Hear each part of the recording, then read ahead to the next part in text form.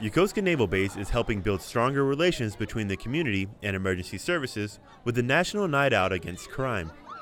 National Night Out is a nationwide annual campaign that builds police community partnerships. The event allows members of the community to interact with many of the emergency services on base outside of an emergency situation. This year's event focused on allowing children to interact with base and local police and teaching them what to do in an emergency situation. I think having the kids come out here is a great opportunity for the for the kids because uh, not not all of them have a chance to see a lot of what the base has to offer. It's a it's a positive environment so, to be around police. The event also included the Japanese Coast Guard and police departments to help build relations with the local community around Yokosuka. To have Coast Guard and Japanese police come on base is a great opportunity for the Japan-U.S. relations. This is definitely going to be an annual event.